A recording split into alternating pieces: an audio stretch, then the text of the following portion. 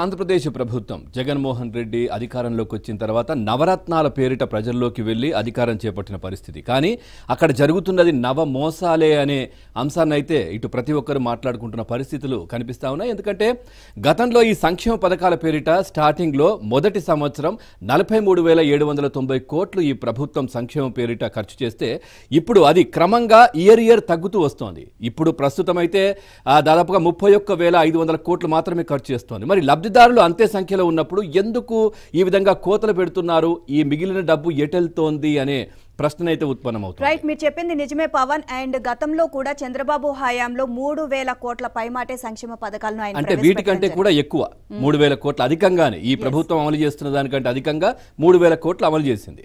Right చూద్దాం details. పథకాల పేర్లు మార్చడం అమలు తీరు మార్చడం. అంతకు మించి జగన్ సర్కార్ కొత్తగా అమలు చేస్తున్నదేమీ లేదు. ఇది గణాంకాల సాక్షిగా రుజువైంది.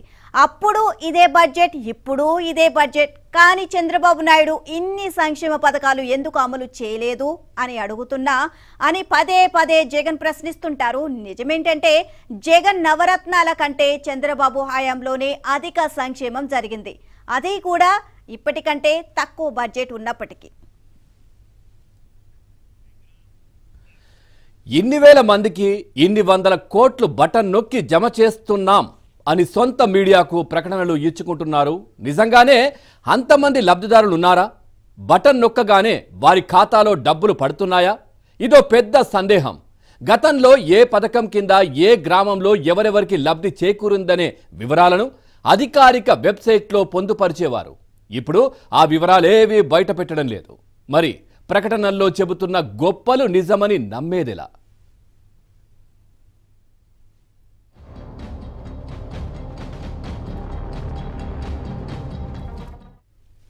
జగన్ సర్కార్ హయాంలో అన్ని రివర్స్. చివరికి వైసీపీ గొప్పగా చెప్పుకునే సంక్షేమం కూడా రివర్స్. జగన్ ప్రభుత్వం సంక్షేమంపై పెడుతున్న ఖర్చు తరిగిపోతోంది. ఇప్పుడు పరిస్థితి ఏంటంటే చంద్రబాబు హయాంలో చివరి ఏడాది సంక్షేమంపై పెట్టిన ఖర్చు కంటే తక్కువకు దిగజారింది. రెండు వేల పద్దెనిమిది పంతొమ్మిదిలో సంక్షేమంపై ముప్పై నాలుగు వేల ఏడు వందల ఎనభై ఐదు కోట్లు ఖర్చు పెట్టారు. అదే రెండు వేల ఇరవై రెండు ఇరవై మూడులో జగన్ సర్కార్ సంక్షేమ కార్యక్రమాలపై పెట్టిన ఖర్చు ముప్పై ఒక్క వేల ఐదు వందల కోట్లు మాత్రమే. అంటే చంద్రబాబు హయాంతో పోల్చితే మూడు వేల ఒక్క వంద కోట్లు తక్కువ.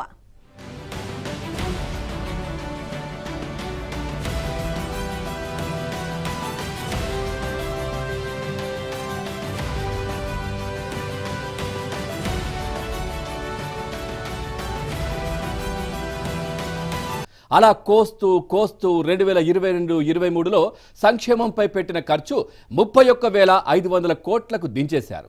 జగన్ ప్రభుత్వం ఉద్దేశపూర్వకంగానే లబ్ధిదారులను తొలగిస్తూ ఖర్చు తగ్గించుకుని వేల కోట్లు వెనకేసుకుంటోంది. ఇవి ప్రభుత్వం సిద్ధం చేసిన గణాంకాలే. శాసనసభలో ఆమోదించిన బడ్జెట్లోని లెక్కలే.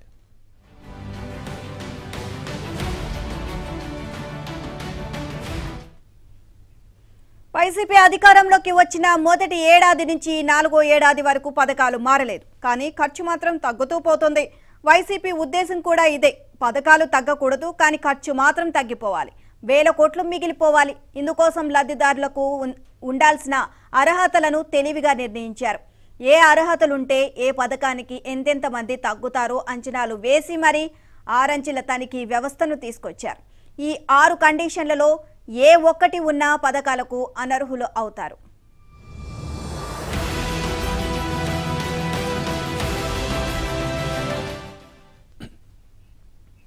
ఇక వైసీపీ అధికారంలోకి వచ్చిన మొదటి ఏడాది ఈ షరతులు లేవు. అందుకే సంక్షేమం ఖర్చు నలభై నాలుగు వేల కోట్లకు చేరింది. ఆ తర్వాత ఏడాది నుంచి ఈ ఆరెంచెల తనిఖీ వ్యవస్థను తీసుకొచ్చి క్రమక్రమంగా లబ్ధిదారులను తొలగించడం ప్రారంభించారు. ఇప్పటికీ తొలగిస్తూనే ఉన్నారు. అందుకే సంక్షేమం ఖర్చు తగ్గిపోతోంది. టీడీపీ హయాంలో తెల్ల కార్డున్న అందరికీ సంక్షేమ పథకాలు వర్తించేవి. అందుకే టీడీపీ హయాంలో సంక్షేమ లబ్ధిదారులు ఎక్కువ మంది ఉండేవారు. దానికి తగ్గట్టే ఖర్చు కూడా ఉండేది.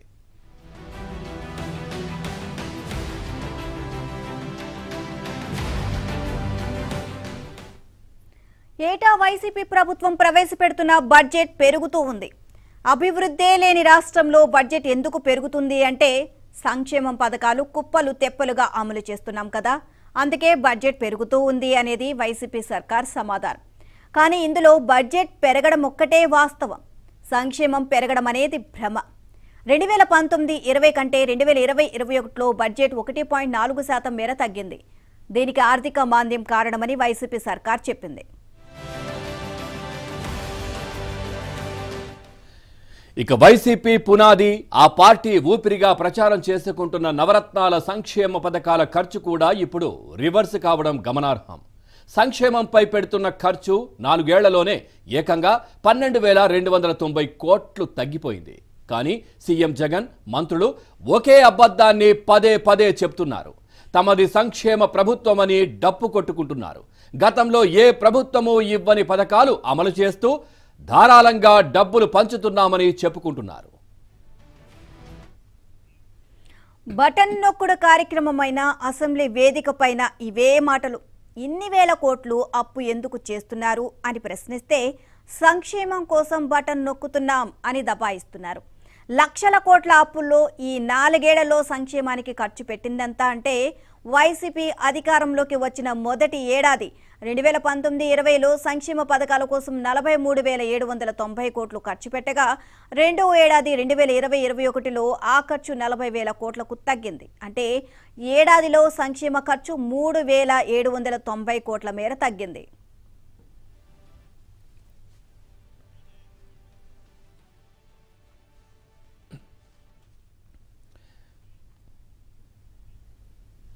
నిర్ణయం అయితే తీసుకుంది. మొదటి ఏడాది తర్వాత పట్టణాల్లో వంద వెయ్యి చదరపు గజాల అడుగుల స్థలం ఉంటే వారికి సంక్షేమ పథకం పథకం ఇవ్వకూడదని. కరెంటు వినియోగం మూడు వందల యూనిట్లు. అంటే దాదాపు చాలా మంది ఈ మూడు వందల యూనిట్లు దాటుతాయి. కాబట్టి మూడు వందల యూనిట్లు దాటిన వాళ్ళందరికీ కూడా సంక్షేమ పథకాలను కట్ చేశారు.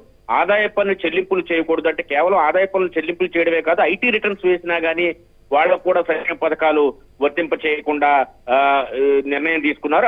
దీంతో పాటు నాలుగు చక్రాల వాహనాలు అంటే ఉండకూడదని కూడా చెప్పడం జరిగింది. నెలవారీ ఆదాయం గ్రామాల్లో అయితే పదివేలు పట్టణాల్లో అయితే పన్నెండు వేలు ఉండకూడదని చెప్పడం జరిగింది. గ్రామాల్లో ఐదు ఎకరాలకు మించి భూమి ఉండకూడదని ఈ ఆరంచెల కోతల విధానం ద్వారా సంక్షేమ పథకాలను ఎక్కడికక్కడ కట్ చేసుకుంటూ వచ్చి- వచ్చిన పరిస్థితి అయితే ఉంది. అయితే తెలుగుదేశం పార్టీ హయాంలో గతంలో తెల్ల రేషన్ కార్డు ఒకటే ప్ర ప్రాతిపదికగా ఉండేది. తెల్ల రేషన్ కార్డు ఎంతమందికి ఉంటే అంతమందికి సంక్షేమం అందేది. దీంతో అప్పట్లో ఎక్కువ మందికి అంటే వీలున్నంత ఎక్కువ మందికి సంక్షేమం అందించే ప్రక్రియ అయితే కొనసాగేది. అయితే వైసీపీ అధికారంలోకి వచ్చాక ఏటికేడి ఏటికేడు సంక్షేమ పథకాల్లో కోత విధిస్తూ వచ్చింది. ముఖ్యంగా అవుట్ సోర్సింగ్ ఉద్యోగులు కూడా సంక్షేమం అందేది గతంలో. అయితే వారిని కూడా సిఎంఎస్ఎస్లో చూపించడం ద్వారా ప్రభుత్వ ఉద్యోగులుగా చూపించి వారికి కూడా సంక్షేమం కోత విధించిన పరిస్థితి. వాళ్ళకి కేవలం పది నుంచి పదిహేను వేల లోపు జీతం మాత్రమే వచ్చే పరిస్థితి. పన్నెండు వేల లోపు జీతం వచ్చే వాళ్ళు కూడా చాలా మంది ఉన్నప్పటికీ కూడా వారికి కూడా కోత విధించిన పరిస్థితి. దీని ఇలాగా ఎక్కడికక్కడ కోతలు విధించుకుంటూ పోవడం ద్వారా సంక్షేమ వ్యయాన్ని భారీగా తగ్గించుకోవడానికి ప్రయత్నాలు చేసిన ప్రయత్నాలు చేసింది.